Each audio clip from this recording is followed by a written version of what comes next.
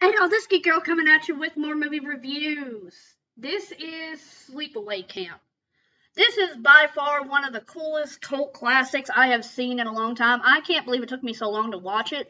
I watched it the first time when I was a kid, and I haven't seen it in years, and I just came across it again. I was like, oh yes, Sleepaway Camp. And I rewatched it, and I was just as thrilled as I was the first time. I love it.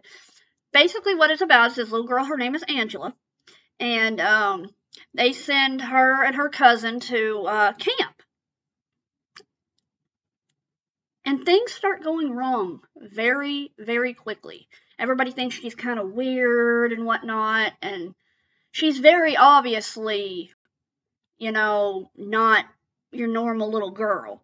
But she's really liking this guy and everything. And of course, the counselors aren't helping. They're all smarmy like they always are. And you know, just just your typical 80s slasher film, man. I mean, it is absolutely fantastic. It is a four on my scare meter. Not that it's scary or really funny, but it's just, uh, you know me with nostalgia. You know how I am. It just, it, uh, mwah, love it. But yeah, great freaking movie. And the counselors are all goofy, and the, you know, your normal 80s teen and all that and then all hell breaks loose, literally.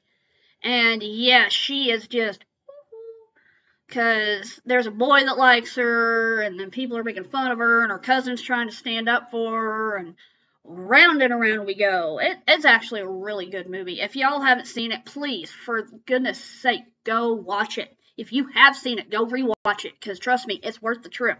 But y'all let me know what you think about it down in the comments. Let me know if there's anything else y'all want me to review. Give me a like, give me subscribe. We will see y'all later.